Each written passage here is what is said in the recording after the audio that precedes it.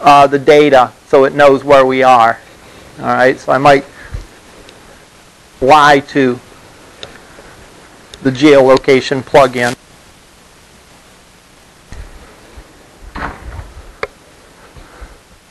So let me look.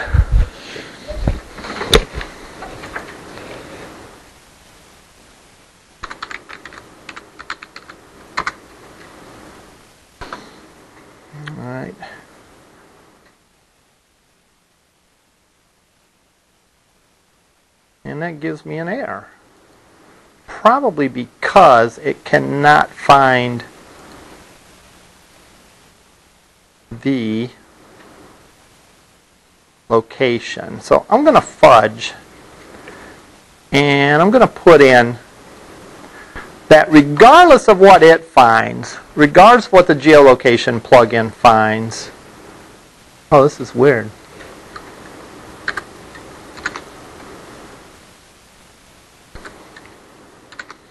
Regardless of what the geolocation plugin finds, I am going to, I know what I did. I forgot to copy an include file. Or no, I do have that. I'm going to say, set my search term to Cleveland, Ohio.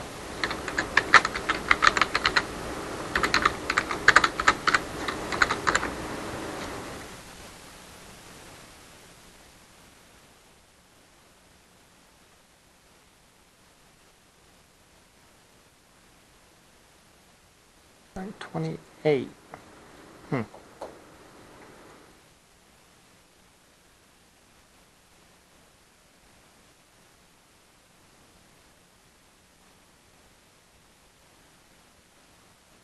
Oh.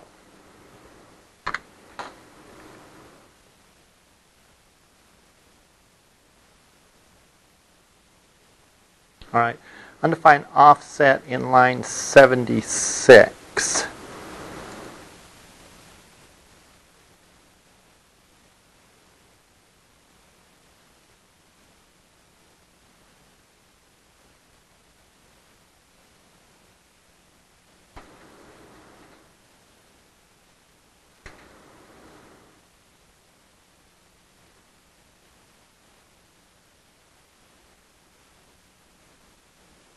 Let's get rid of that.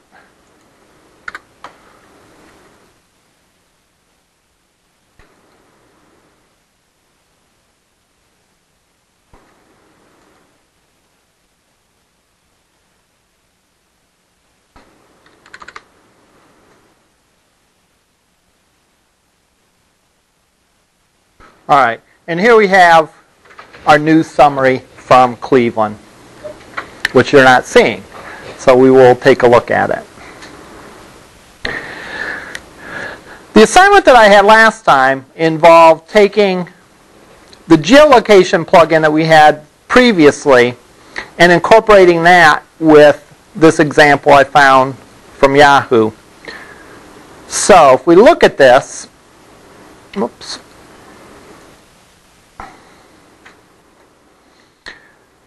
The example that I had if you click on that. This example pulled news stories concerning climate change. All right?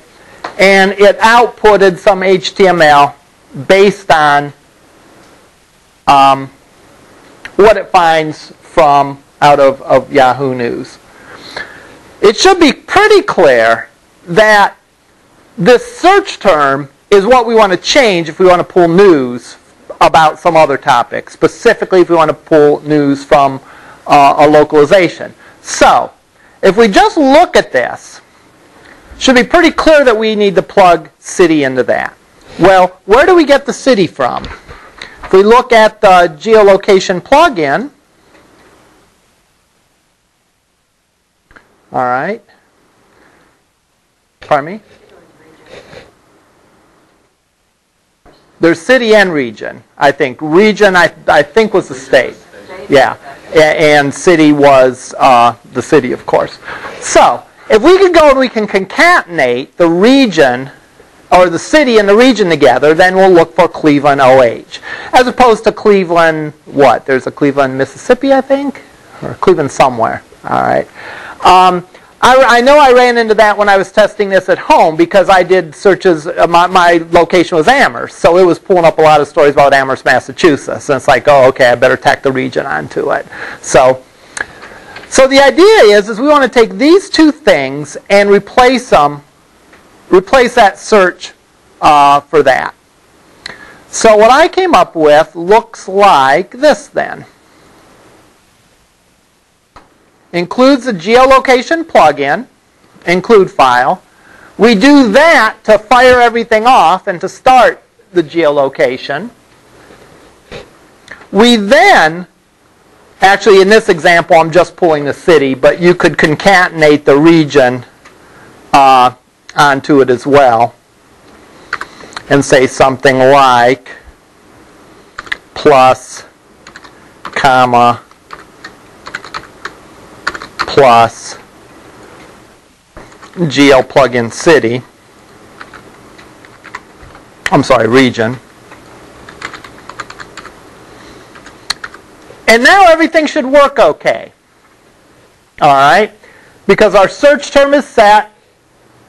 When it showed climate control, it showed us everything about climate control. So if we change that to our location, it should show about our, show about our location. And sure enough, it will.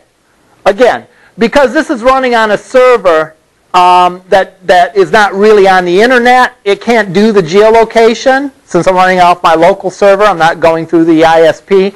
Therefore, I hard-coded in Cleveland, Ohio to get it work here. But if we were able to put this up on a server and go and request it, we'd just remove that line and it would go and find the search.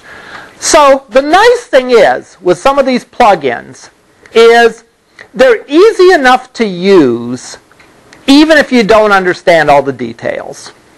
All right? We want to take that a little bit further, though, today, and we want to look a little bit at the coding that's being done here. Um, because we don't want to be at the mercy of what it did for us. All right? We want to be able to uh, be flexible to maybe format the output in a different way or, or whatever. All right? So we're going to spend some time making sure we understand this and we didn't just substitute that. I will admit, though, there's been plenty of times when I've been using like a service like this where you learn just enough of it to get the results that you want. And there's some value to that. But we want to do more. We want to go beyond that. So that's why we're going to spend some time looking for that. All right? So the first thing that you notice is that this guy calls a function called piphp get Yahoo News, and it passes as an argument the search string, which again was climate change or our location. That function is down here. All right. Now,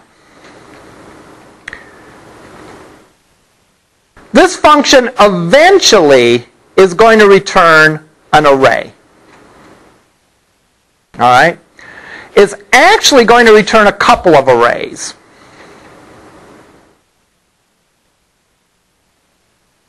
All right? Or actually, I'm sorry, it's, it's going to return an array, but it's also going to return the count of. It's going to return an array that contains the count of the number of elements and the array itself, which is kind of goofy. We don't really need to do that. Maybe we'll maybe we'll refactor this a little bit as we're working through this.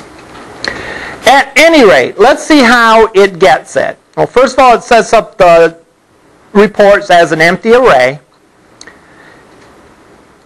These next two lines are critical because this is what actually goes out and accesses that information. All right?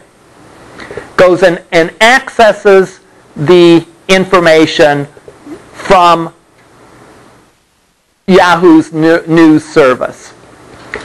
And if you notice, you'll notice a couple things. First of all, let's look at the URL that we're requesting.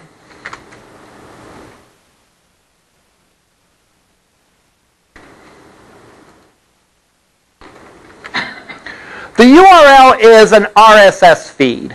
Is anyone familiar with RSS feeds and what they're used for?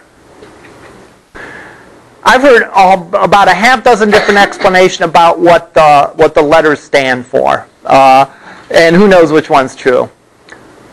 In a nutshell, what this is, is this is a standard way of showing the most recent updates to a particular site. All right. A lot of times it's used with blogs, and a lot of times people have RSS readers, um, so that they don't have to go to and visit every blog that they're interested in. They can define, like Google News was an example of this, which is, is soon to, to go defunct. But there's other RSS readers where you could define which feeds you're interested in, and it will show you a list of, say, the top 10 most recent news stories from each of those feeds. And then you could go and look up the, the stories that you're more interested in. So it's a nice way to sort of aggregate things. And it's pretty standard too. A lot of blogging software, Facebook, a lot of social media uses RSS as a way of showing updates. So it's, it's valuable to know this for integration. Um, I worked on some mobile sites, and again, all we did was take the RSS feeds off of Facebook in one case. In another case, I think it was a WordPress blog. And put that, wrap that in a mobile wrapper, and essentially you have a mobile application. And the beauty of that is, is when the site is updated, the mobile application gets the update as well. So it's a nice way to, to sort of to, to, to get things fairly easily. Let's put this URL up in an address bar and see what we get.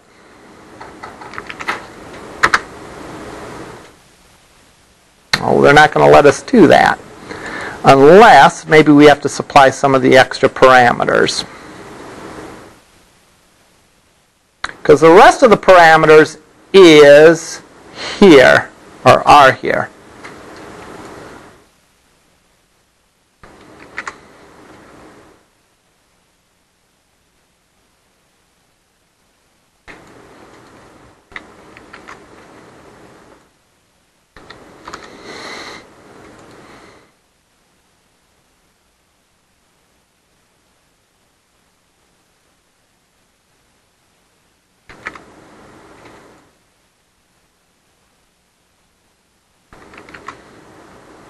And I'll put in here as the P, which is the term that's being searched for, I'll put in Cleveland. All right, look what we get. We get an XML file, and that's what RSS is. It's an XML file. What is an XML file? An XML file is a standardized way of exchanging data between applications. It can be used for other things, certainly, but that's certainly one of the most popular ways of doing it. What um, HTML is very similar to HTML in the sense that it uses tags to describe the data that this has. For example, at the top there's RSS indicating that this is an RSS document. All right. There is a channel with the title and a description and some other things. Then if you notice, there's a collection of items. And each of these items would represent a news story. Nice thing is, is when you view an XML file in a browser, you can expand or contract the item. So here we see that this has a series of items in it. And we can expand one to see all the stuff that's underneath it. So the title of the article is this. The link to the full article is this. This tells us if it's a permalink or not. A permalink would be a link that would, uh, even over time, changes. That link would still apply. And then here's a description of the story. And so on down the line. Here's uh, the next story. There's a title and all that. So when we request this, we get some XML. We get a chunk of XML.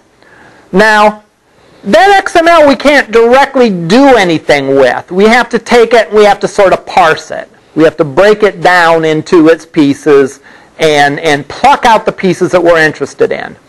Because in any XML file, all right, there's liable to be stuff that we're interested in and stuff that we're not interested in. All right.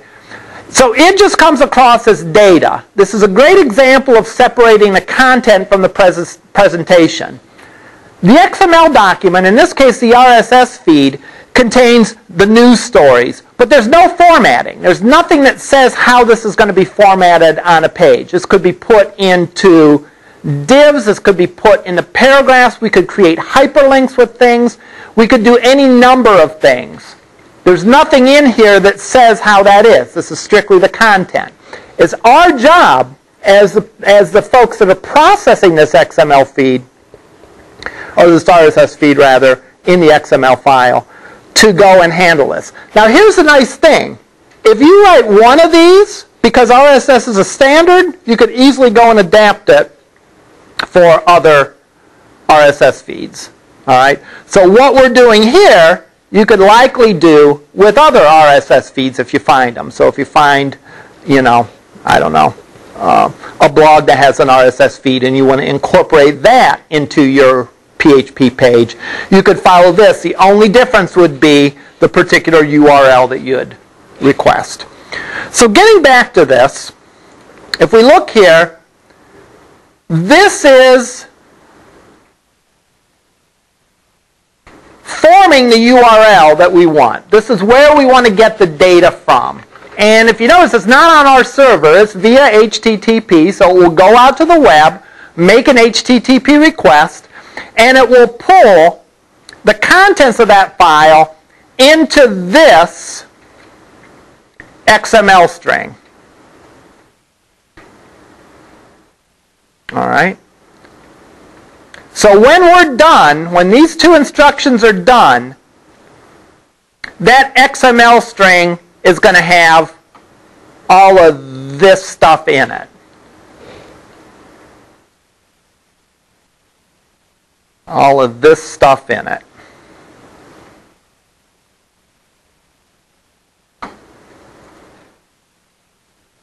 Now, that's not going to do us any good. We have to do something with it. We have to process it. But this will pull it. This is, by the way, a synchronous request as opposed to an asynchronous request. Just kind of file that piece of information in the back of your mind because uh, we'll be talking about AJAX. We're going to be doing something very similar to this, except we're going to make an asynchronous request as opposed to a synchronous request. So, we define the URL that we want our data from. We say get contents of this file, and it's able to. We could do this actually to one of our local files if we wanted to. But in this case, we don't want it from one of our local files. We want it from this RSS feed of Yahoo's. So if we make the URL have the HTTP and follow the proper syntax, we can, we can go out to that service and get the RSS feed. Couple things I want to note. First of all, raw URL encode. All right. Certain characters mean certain things. All right, within a URL. All right. Slashes mean something. Ampersands mean something. Uh, what else? Question marks mean something. Spaces mean something. All right. So typically, if you're going to format a URL, you want to make sure that we're, we don't violate any of the goofy rules.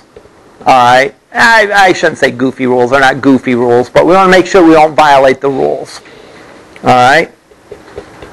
For example, if there's a space in our URL, this raw URL encode will actually replace it with something like a percent sign 20% or something like that. That's sort of the escaped version. That's an encoded version uh, of that.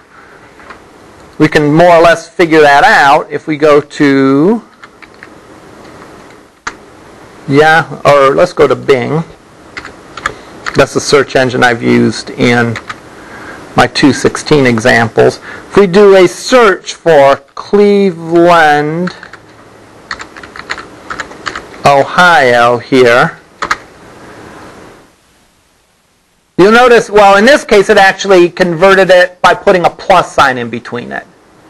All right. The bottom line is you can't have a space in a URL. You can't have an ampersand in a URL. If, for example, I search for B&O Railroad, notice how it encoded that with the percent sign 26. That's escaping out that character. So anytime you're creating a URL and you're providing a portion of that URL, you want to run it through the encoding process. And that's what that's doing here, just in case there's any goofy characters that could cause problems on, in, in the URL. All right. In this case, we're not really sure what that geolocation plugin is going to give us for the name. All right. So we need to go through and make sure that we encode that data. And that's what the, the highlighted section does. All right. So we have our URL, and that URL is properly encoded, so there's no goofy characters that's going to give us grief. All right. The next statement actually goes and grabs the data from it. Interesting thing, this little at sign in front of it, I, I don't recall ever seeing that before. Does anyone have any idea what that is? Don't feel bad if you don't, because until about like an hour ago, I didn't know what that meant. The at sign in PHP. Essentially, that says don't worry about any errors that are encountered. So normally, you know, um, if there's errors, you know, you're liable to get like some kind of warning message or some kind of message like that. Well, in this case, for whatever reason, if there's an issue accessing that URL or whatever, you don't want to pop up some kind of ugly error. So we're just saying ignore the errors. We'll handle it differently. All right. So that's what the at sign in front of the function uh, means. Means are there any, or, or I'm sorry, it means to ignore any errors that could be caused by this. All right. So, assuming this is successful, this dollar sign $XML variable is going to have this data in it. It's going to have this chunk of XML. So let's see what we do we do a couple of things to sort of clean up the encoding in that XML file. If you notice, for example, the title and the link and some of the other things are actually in this CDATA declaration. What that means in an XML file is that's saying effectively this is not XML code. It's telling the, anything that parses XML but that's not XML code. So if you run into any characters that look like XML code in there, ignore it. Don't treat it as XML code. Treat it as just plain characters. All right? So that's what that CDATA means.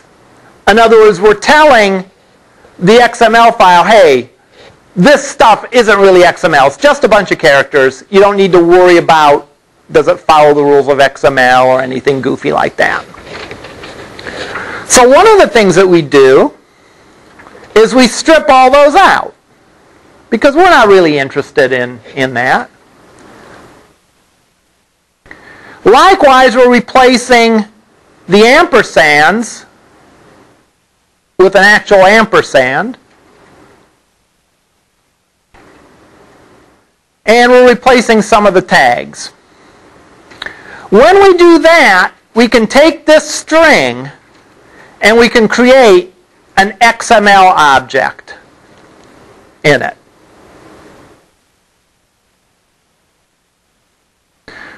This XML is just a string. You know, when we do this statement here, we don't know for sure what we're getting back. In this case, we know we're getting XML back. But if I made this with another URL or if I put in another file name, I'm not necessarily going to get back XML. I'm just going to get back a big string. We want to take advantage, though, of the built-in stuff to process XML. The built-in classes within PHP that allow us to parse XML. So therefore, we want to take those plain old characters and treat them like they're XML. And that's effectively what this statement does. This statement takes that string of characters and it makes an HTML object out of it. All right? Simple XML load string. I'm not really sure what the simple designation means, but again, effectively we're converting this. Now in this variable, this variable knows that it's XML. This variable simply knows that it's a string. All right? Because this is XML, I can use all the features, if you will, of XML. I can use all the properties. So, what I can do is, remember we look through, whoops, we look through the RSS data. We said that there was a channel, and the channel contained items. And each item was a news story. So what this code is saying is in my XML, for every channel, for every item within every channel, loop through. So this is going to loop through effectively one time per item tag that's contained within a channel tag. In other words, it's going to loop through um, through the list of item tags. And again, we can do this because SXML is an XML object. We couldn't do that with plain old XML because plain old XML was simply a string. So we could do string things to XML. We can do XML things to SXML because SXML is an XML object. So, now what do we do? We're looping through, and each iteration through the loop, we're going to look at the next tag in turn. Let me rephrase that. We're going to look at the next item tag in turn. That's what this means. For each item, for each, within our XML, within the channel tag, we're going to look at each item tag, and each time through the loop, we're going to call the item tag that we're looking at, we're going to call that tag dollar sign item. All right? Now here's the interesting thing from an XML perspective, right? Each piece of an XML file, I won't say each piece, each, did I say each peach? Each piece, each piece of an XML file, not necessarily literally every piece, but pieces of XML files themselves are actually XML data. All right? For example, if we are looking at this item tag, the contents of this item tag is XML data. All right? So it's a tree structure. Uh, a lot of times in computer science, they refer to this kind of thing as tree structure, and they talk about trees and nodes and, and branches and all that. All right? If you look at a tree, you know, any branch of a tree looks like a little tree. All right? Just like if we look at a branch within our XML file, it's a little piece of XML. So that means that when we do this and we loop through, for each of these HTML, I'm sorry, for each of these XML tags, each trip through the loop, we're going to call the one that we're looking at dollar sign item. Dollar sign item itself is a piece of XML. So we can do XML things to it. All right? So, what do we do to that? What XML things we do? Well, we grab the contents of the link tag. We grab the contents of the pub date tag. We grab the contents of the title tag. That's what this represents. Just like this represented the channel tags within our XML document and the item tags within them, this represents the link tag within each item tag. So the first trip through the loop, we're looking at this first item, and the link tag is going to be this for the first one.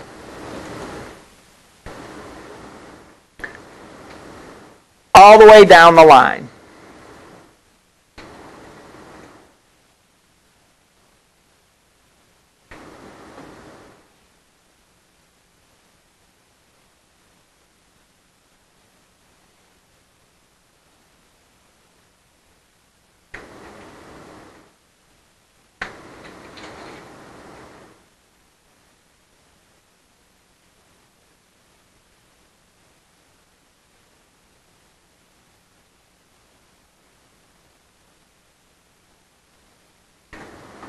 All right.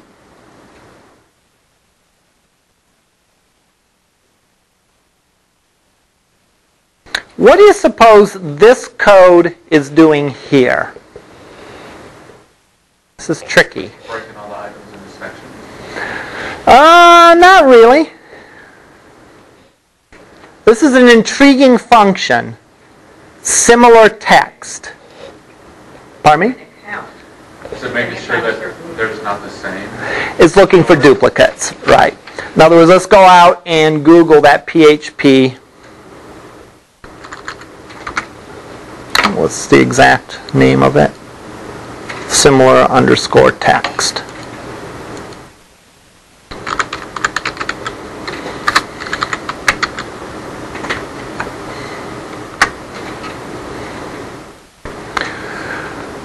This calculates the similarity between two strings as described in Programming Classics implementing blah, blah, blah, blah, blah, blah, blah, blah, blah, blah, and so on and so on and so forth. Essentially what this is doing is this is looking to see if the articles are duplicated. All right? Said it's seventy percent or more. If it's 70% or more, then it ignores it. All right? It's actually pretty clever. All right? Because, yeah, if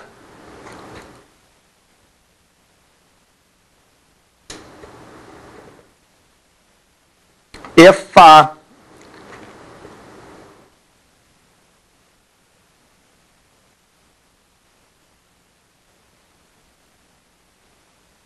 um, losing my train of thought here. Um, yeah, it loops through it. Each time, each trip through the loop, we're adding more and more things to that reports array. Or we're potentially adding more and more things.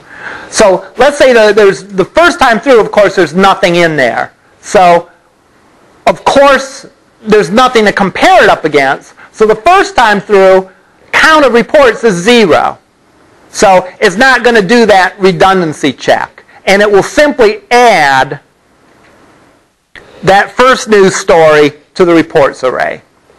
The second time through, it's going to look at this, and now reports has one value in it, one element in it. So it's going to compare the second news story with the first news story, and it's either going to add it or not. So this reports array is going to grow, and each time through, any new story that's encountered is going to look through all the things that have been up to that point added in. All right? And again, it uses as a cutoff the, the 70%. And if it's more than 70% similar, it considers it duplicated. You know, I mean, you know how news stories go. You know, if, if for example, you know, the, the Cleveland Plain Dealer reports something, uh, the Akron Beacon Journal might report the same article. And it looks like it's two articles because it's from two different sources, you know. And depending on how Yahoo's RSS feed aggregates those, it could look like two different articles. Um, but um, again, you know, um, they're actually the same article. We could probably see the effect of this if we you know, got rid of that line of code and never rejected anything. This, by the way, is sort of the same idea between if anyone has used turnitin.com. I don't know, does that ring a bell with anyone? There's a website called turnitin.com for like term papers. My daughter has to turn in uh, her papers there. And what happens is you upload your paper, it will then go and it will look and it will compare the paper that you uploaded with all the papers that have ever been uploaded, plus different sources on the internet, and so on and so forth. The problem with that is, is that if you do a lot of quoting, it could show like a false positive. It could say, hey, there's a lot of duplication of content here. That's why the instructor can't take it at face value. The instructor has to look into it and see why there's that much in common. Because it could be just innocent quoting. They could have be they could have cited the material correctly and they're not plagiarizing it. All right, but still, it does something like that. I suspect they probably use a more involved algorithm than this this function. I'd be really curious.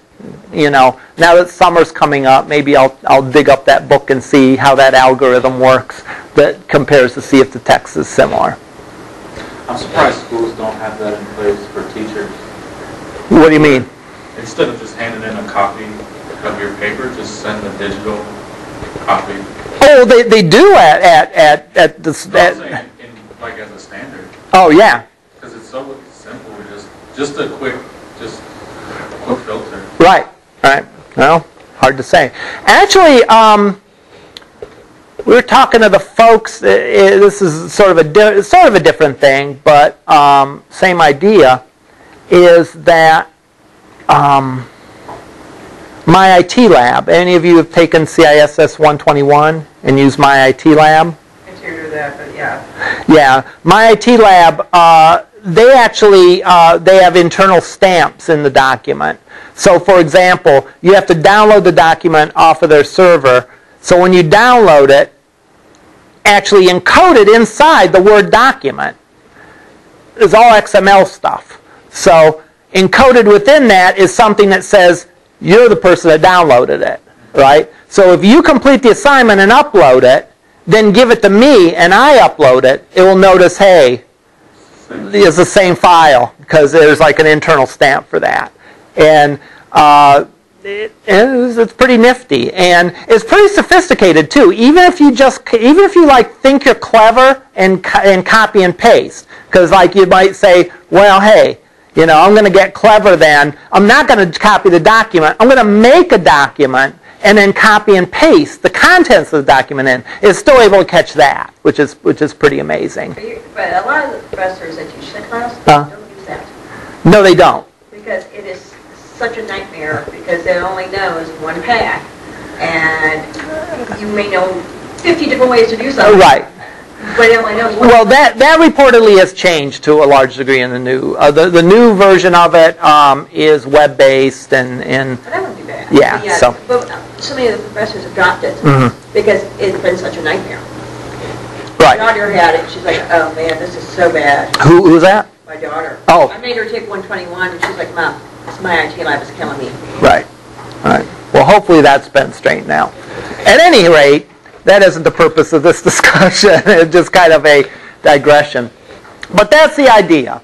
Each time through the loop, we're looking in, and we're just doing a little filtering out for um, for uh, redundancy. Now, though, we have effectively a two-dimensional array. We actually have an array of arrays, all right? Because that reports array, each element of that reports array is itself an array. What this indicates, again, is add to the end of that array, this guy. All right? So each element of that reports array is an array that contains those things. So, all we've really done at this point, we haven't outputted anything out to the screen yet. All right? All we've done is we've made our request, we've gotten our XML, we've plucked out of that XML the pieces that we're interested in because we may not be interested in everything, but we decided we're interested in those things. And we're also we also did a little filtering to make sure there's no redundancy. So, when we're done with this, we should have an array called reports that contains multiple elements, each element of which itself is an array. So essentially, the reports is the channel, Yes, and an array is the item, each item. yes, Okay. yes. The reports would correspond to the, the, the- all the items in the channel, and each element itself would be an item. Okay. Now, for some reason that I don't know why, they return another array that contains the count of this array and the array itself. I don't know why they just don't return the array, because if you know the array, you can get the count of the array. Right? I don't know why this guy has to return it. So at any rate, at this point, we have in the results a two-element array. All right? The first element is simply a count that says how many elements are in, are in the array. The second element is an array of items, all right, that we're going to loop through. And again, we look to see if there is no value, there is no items in the array. The first element of this results array, which means we found no news stories. You know, if you put in some nonsense search screen, uh, search uh, term or whatever, it would return no news story. So if that happens, we return that there's no news for that search. Otherwise, we loop through the results array. The results array is actually the second element of the results array. Or the item array is actually the second element of that results array. The first element of that results array is the counter that says how many elements. I don't know why they didn't do just this. Just return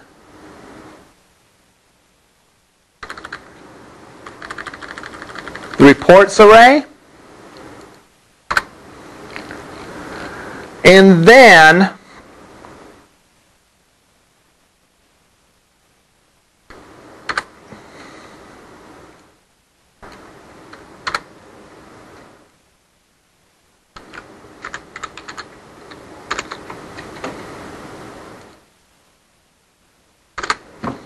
do that, and it should do the same thing. And we get around the fact that the return is actually a two-element array.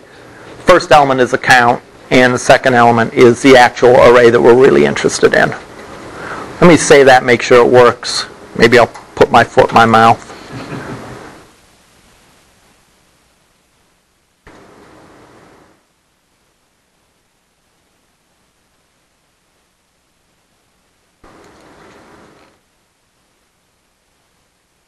Seems to have worked.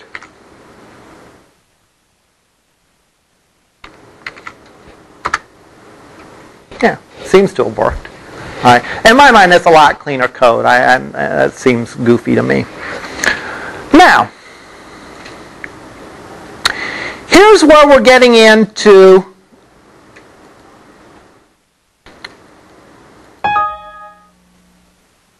to a large degree the real work here. All right? Because what we're doing is we're formatting the results. All right?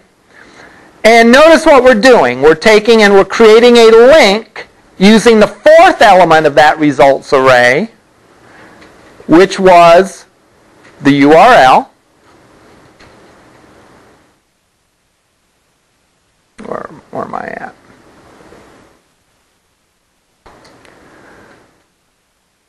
The text of which the link is the title. All right? The title of the article. Then we display element number one, which is the website that it came from. Element number two, which is the date. and element number three, which is a description.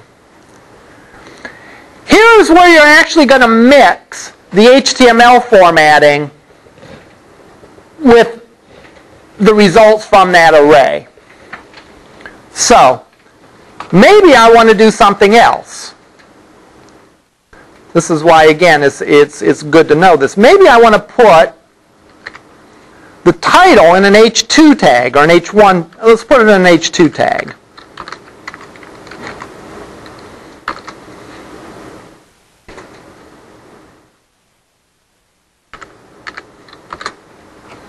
And maybe I want the text of the link to be just the word details.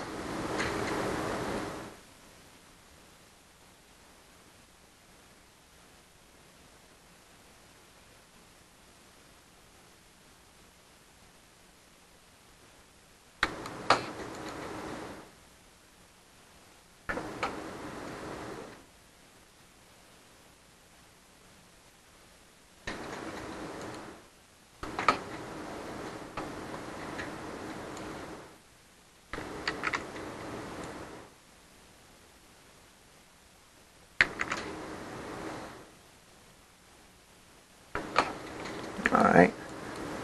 By going and saving that, notice how this looks a lot different. And the link goes to the link page.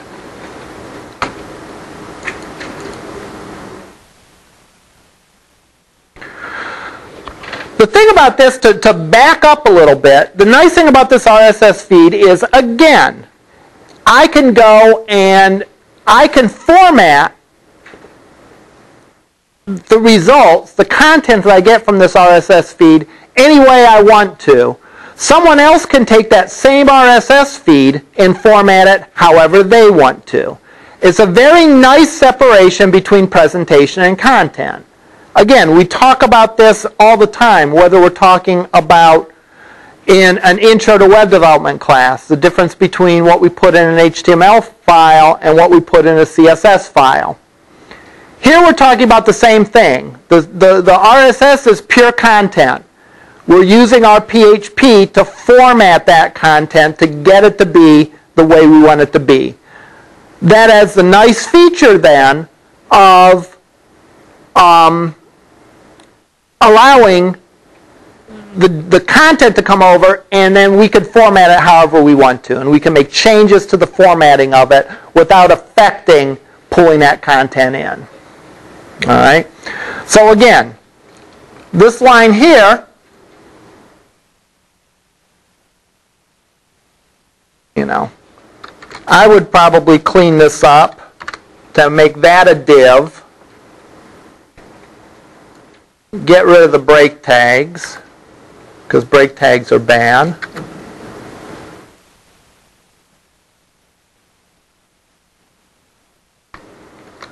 Maybe put like this in a paragraph tag.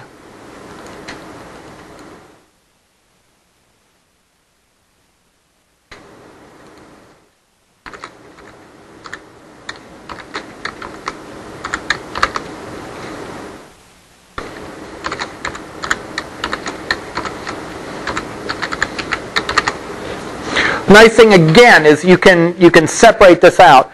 If we were clever, if we were going to do this in a lot of cases, I could even write a function, all right, to take all this all this grabbing the new stuff. Well, I, I actually do have a function, I guess, and I could put this in an include file, and I could call it, and in, in for different cases I could format it however I wanted to.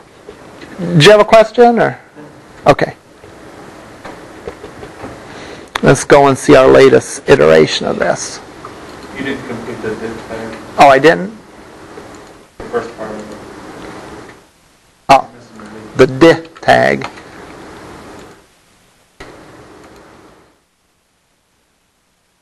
All right. So there, that's formatted.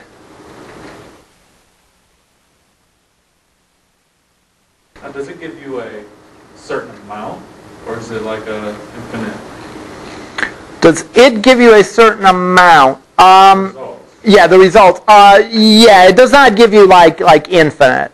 Um, typically, um, I believe it, it is it is the person that maintains the RSS feed, the code that maintains it specifies like how much data it's going to keep. Output? Output, yeah. Like for example, I know like in blog feeds, it's usually like maybe 25 entry. You know, it's not like it's not like an infinite number of entries. It's, it's going to be uh, discrete. Um, not sure if you can. That might actually be a parameter that you could set when you make the request. I guess it depends on who's creating that RSS feed.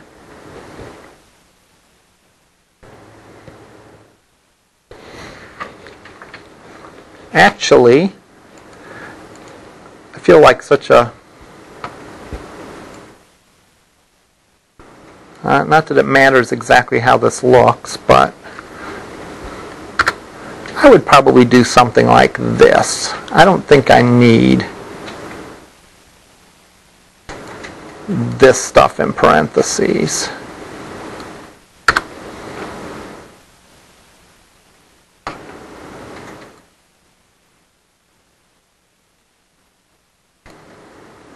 That's, there you go. And actually, if I'm going to do that,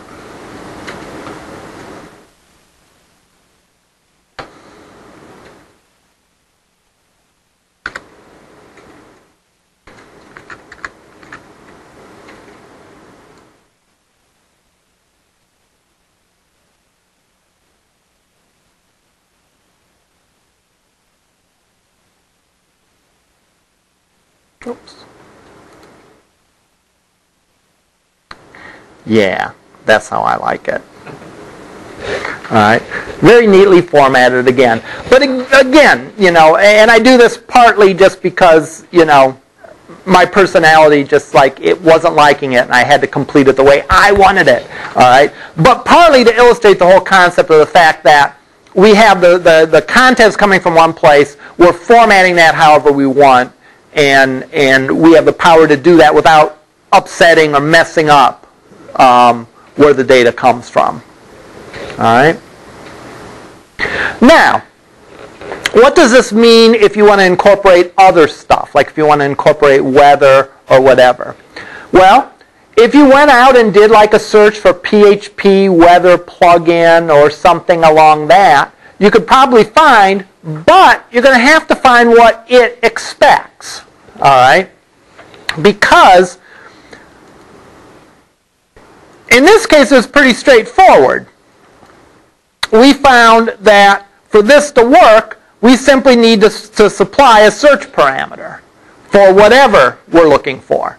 All right, so whether it be climate change or whether it be Cleveland, Ohio, or whatever, we just had to supply that and plop it in there, and the rest works.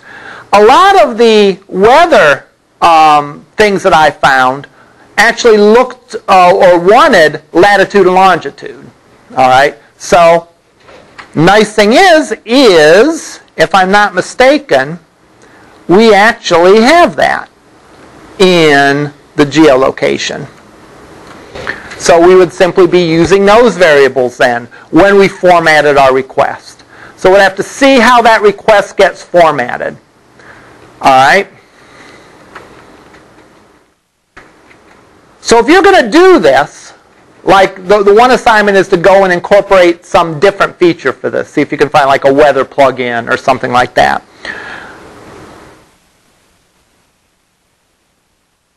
What would you need to change about this code? Well, you'd have to figure out, first of all, how the request to the server needs to be formatted.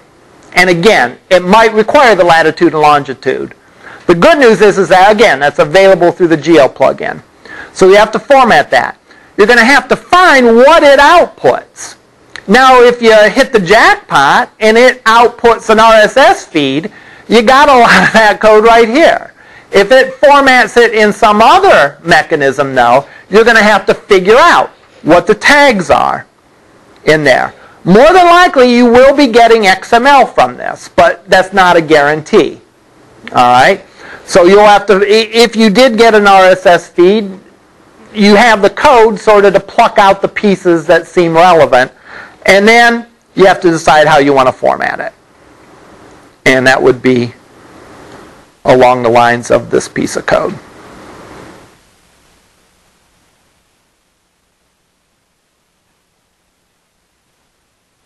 Now, what is the difference between this and Ajax? I, I want to briefly talk about Ajax, and we'll, we'll, we'll hit it harder next time. Maybe we'll, we'll Ajaxify the sky.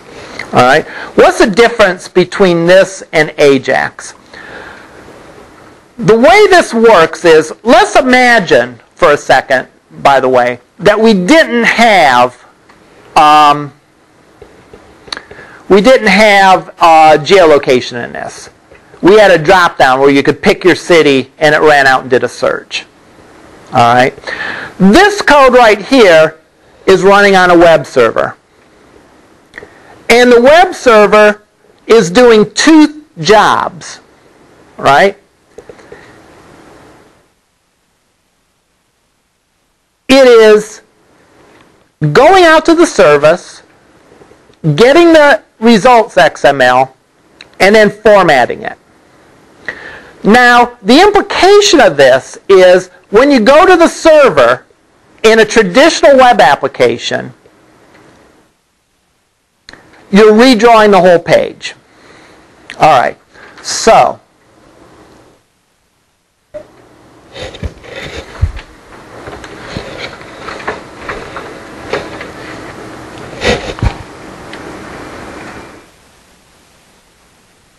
if we were to have a form here that had a drop down for the city, let's say, instead of the geolocation, and we had a search button. We pick our city, click the search button. That submits to the server. And let's say it goes and it redraws the whole page with the drop down and the button, and then it shows for Cleveland, the news. And if I then change it to Elyria, click the button, it would go to the server, get all this, and redraw the whole page again. Now, depending on the kind of page you have, redrawing the whole page could be a big deal. All right? With Ajax, we separate the two functions. And we let the client do what the client's good at, and we let the server do what the server's good at. Server is good about handling and delivering big pieces of data. The client is good about formatting web pages. Through JavaScript, we can change the way a web page looks. The client's also responsible. Uh, the client's also good at making requests. And the idea is, in an Ajax application, what we're going to do is the client is going to make the request to the server to get some XML or maybe some other kind of data. It doesn't have to be XML. The server isn't going to produce an entire web page. The server is going to return back to the client a piece of data. In this case, it might return that XML file that uh, was created. Then the client is going to have code to format the content.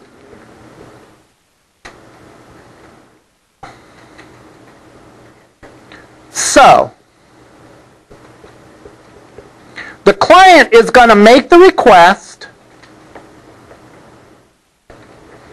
The server is going to obtain and return data slash content and the client is going to format that.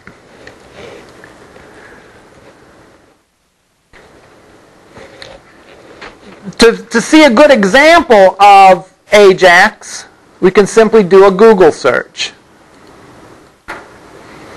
I, I've uploaded this example already. I'm not going to upload my changes to. Oh, maybe I'll, oh, I will upload my changes to it because I think it's cleaner code. I go and I start typing in P H P. Let's think about what's going on here. Whoops. We don't know what's going on here because we can't see. All right. P H P. What's going on here? All right. I'm interacting with the client, right? I'm interacting to the web page. I'm not clicking on a link or clicking a submit button. I'm just typing in. All right? But clearly, that data is probably coming from a web server because this web page, my client, doesn't have all these possible search terms in it, right? This is coming from Google's database, all right? But notice how the entire page doesn't refresh. Typically when you request a page from the server, the entire page requests. So what's happening really is, as I am typing, the client is making a request to Google server for give me the top several search terms that start with these characters. Looks like it's giving me four of them. Why doesn't it give unlimited? Well, it take too long, right? The whole key to this is that it happens quickly and intuitively. So as I type in, I get the top four results for what I've typed in. I press a key. The client sends a request to Google server that says, give me the top four search terms. Google returns those. The client then alters the page to contain those. So it's a little dance between the client and server that's a little more sophisticated than the typical I'm going to request a complete page, you're going to give me back a complete page. Instead, this web page says, give me some data. Google then returns that data, and the client can then alter it with that new content without having to refresh the whole page. So this makes applications look a lot smoother, a lot more like applications as opposed to websites, where the traditional website is clunky. Every time you do something, you refresh the whole page. Now, before we finish this up, because we'll go into the mechanics of this more uh, in detail um, in next class, but why is this so neat for mobile development? Well, let's think about this. What am I, what do I need to do PhoneGap build? To need to do PhoneGap build, I can only do it with HTML pages. Can't do it with PHP pages. All right? I can create a client that is just HTML, CSS, and JavaScript that makes AJAX requests to a web server and have a set of scripts running on a web server I can then take that HTML5 client, do a PhoneGap build on it, have a native app that is a native app, looks like a native app, acts like a native app, and uses the PHP scripts running on the server to supply it data. All right. So Ajax comes in handy there where to build a client or to build a native app, using PhoneGap build, we're restricted to just HTML stuff. Well, that's not a problem if those HTML scripts are making PHP calls out to a server. All right? Which, you know, although I haven't necessarily done it myself, certainly I don't see any problem with that. All right? Questions at this point? What we'll do on Monday is we'll spend a little bit of time talking about Ajax to sort of um, sort of close the loop. And then Wednesday will be a work day. All right, questions? Yes.